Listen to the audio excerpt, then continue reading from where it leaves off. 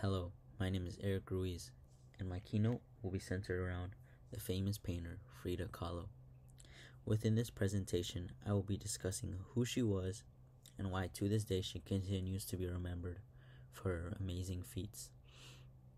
I will also discuss one of her famous art pieces, which is titled The Suicide of Dorothy Hale. I will do this by discussing who Dorothy Hale was and finally discussing the artwork itself.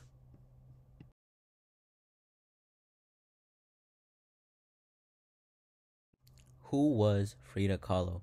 The following information is all from the source fridakahlo.org. Frida Kahlo was born on July 6, 1907 in Coyoacan, Mexico City. As a child, Frida suffered from poor health.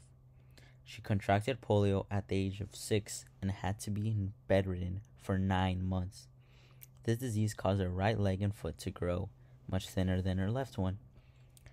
In 1922, Frida Kahlo attended the renowned National Preparatory School in Mexico City. Sadly, in 1925, a bus collided with a streetcar, and sadly, Frida Kahlo suffered injuries. A steel handrail impaled her through the hip. Her spine and pelvis were fractured, and this accident left her in a great deal of pain, both physically and psychologically. To kill the time and alleviate the pain, she started painting and finished her first self portrait the following year.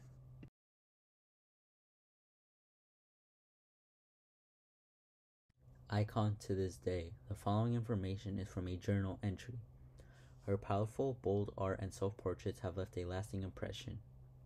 Among the Mexicans, she is admired for drawing attention to Mexican and indigenous culture, and among feminists for portraying the experiences and forms of women. She painted 143 self portraits, 55 of which were her own.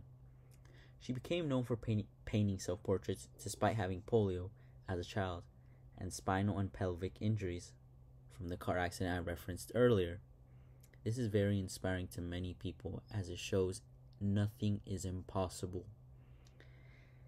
Frida's radical approach in showing women has become, has become a hallmark of universal art.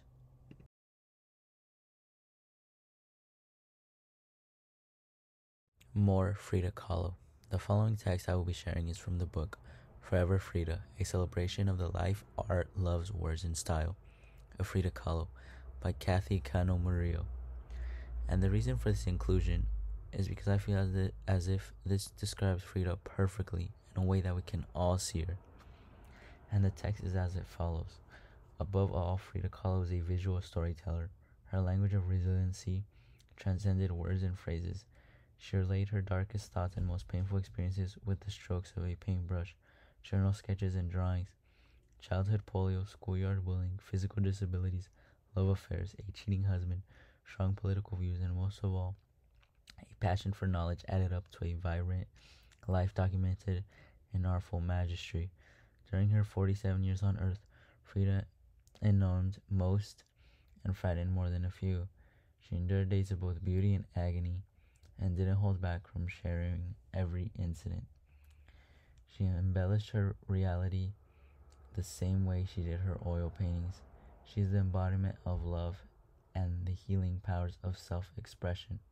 Love for Mexico, love for mankind, love for nature, love for her body and soul, love for independent thinking, love for Diego.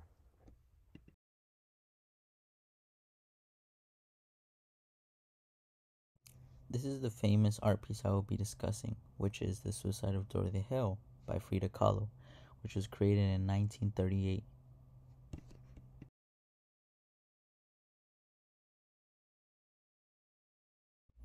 Dorothy Hale. Before discussing the artwork itself, I would like to discuss who Dorothy Hale was. The following information is all from the website imdb.com.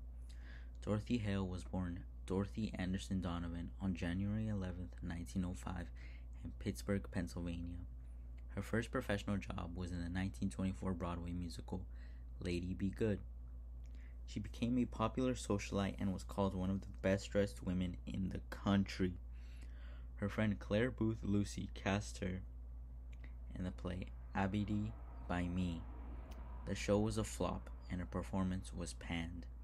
By 1937, her acting career was over and she was nearly bankrupt.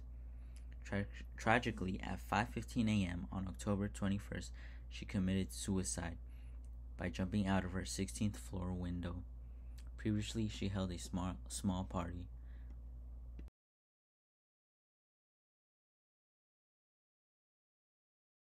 Before discussing the artwork itself, I would like to provide provide a bit of background on the piece.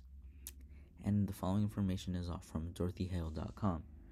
So, 12 days later, socialite and playwright Clare Boothe Lucy met f- famed surrealist Frida Kahlo at the artist's first solo exhibition in New York City. Frida Kahlo was asking questions about the apparent suicide when Lucy spontaneously surprised the crowd at the Julian Levy Gallery and hired Kahlo to paint a portrait of Dorothy Hale as a gift for a grieving mother. After much deliberation, Kahlo painted one of her most famous paintings, El Suicidio de Dorothy Hale, but it was not a beautiful portrait of Hale as Lucy had anticipated. Instead, the painting depicted the actual death sequence of Dorothy Hale, falling in stages from her apartment window and landing on the sidewalk.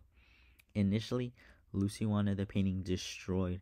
Instead, she had sections of the of the canvas painted over and then placed it in storage for several decades before donating it anonymously to the Phoenix Art Museum.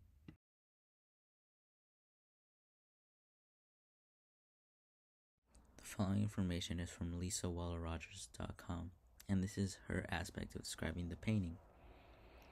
So, Kahlo painted Dorothy Hale as she jumped, fell, and landed dead and bloody on the concrete walk outside her apartment building.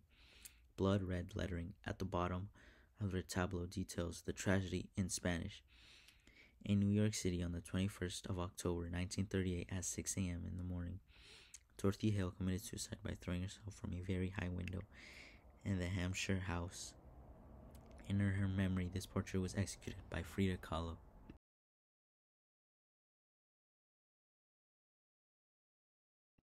The following is how the painting is described per Frida Kahlo by Gary Souter. Oil on Masonite with decorated wooden frame, 60.4 by 48.6 centimeters, and it is located in the Phoenix Art Museum in Phoenix, Arizona.